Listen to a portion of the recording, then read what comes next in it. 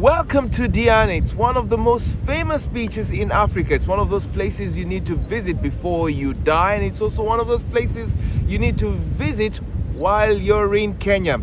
A lot, a lot has been happening in Diani the last couple of years, and now construction is in its boom.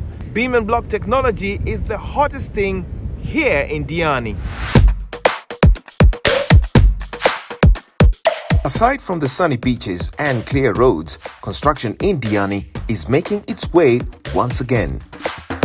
Today we take a look at two stops. On one location, the owner is looking to extend one of his houses and create additional spaces into his compound. And what will it take? There's a proposed extension to the existing structure whereby uh, we'll be adding another rooftop on top in beam block. Yes, the client has gone this way because uh, the beam and block is uh, cheap to install. And then there'll be minimized wet work on site.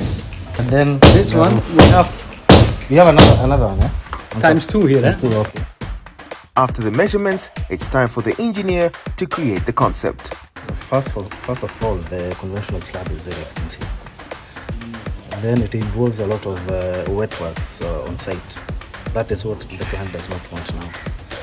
Then it is faster to install the beam block.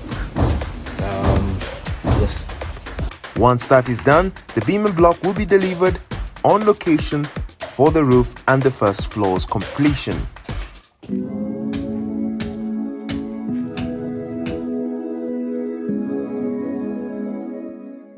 The next stop is on the other side of Diani. The EcoConcrete blocks are on location, and so are the beams. There. Yeah, the blocks have been delivered to site. We are now doing the the, the roof slab. We are building here a three bedroom house. We're using blocks and beams because it's going fast. Uh, the whole project here up till now it took me 12 weeks. 12 weeks. Yeah. Wow. So we are almost ready to put the blocks and beams on the second floor rooftop. So yeah, it's going fast. You don't need uh, to cut a half forest to put supports everywhere. Otherwise, if you do it the normal way to put uh, the concrete slabs, you need uh, 300, 500 supporters. So you have to cut a half forest to put uh, supports, and we go eco green. So we put blocks and beams, no supports. You put it up, and the next day you continue. What's interesting to note is how beam and block can be used to create the stairs, which gives access to the upper floor. Oh, so this is something else that you didn't know about beam and block technologies that you can use it for staircases as well. Construction using beam and block technology has now started attracting the local residents. hizo ziko chonjo sana, kazi yake kwanza inaenda nyororo.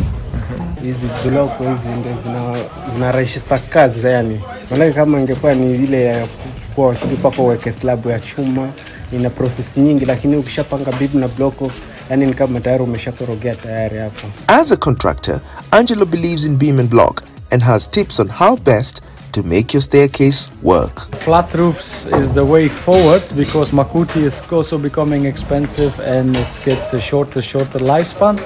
So the future, I think, is flat roof.